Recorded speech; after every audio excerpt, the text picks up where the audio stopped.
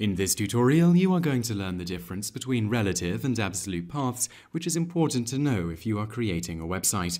To demonstrate the difference, here we are going to be using the WordPress platform. Let's start with a relative path. This is a link in a website that directs to different places depending on where it is used. This means that the same link on two sites will direct to different pages. An example of a relative link would be one that links to the homepage. It will always link to the homepage of the main site, not the homepage of someone else's site. Let's create a relative link here. We will begin by typing our standard HTML, lesser than symbol, a space href equals speech marks. Then we will not add a specific website, but just enter a page from our site. Here we are entering forward slash question mark page underscore ID equals 2.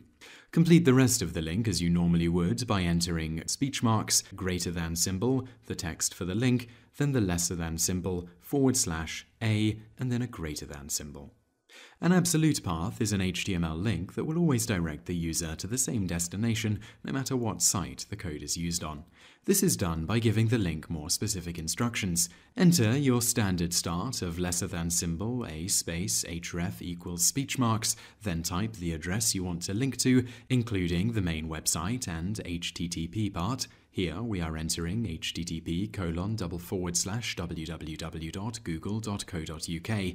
Enter the rest of the code, speech marks, greater than symbol, link text, lesser than symbol, forward slash a, greater than symbol. Now we just need to test these links. Let's save the blog page and have a look at the links we just created. As you can see, when we click the relative link, it takes us to a page in our own site.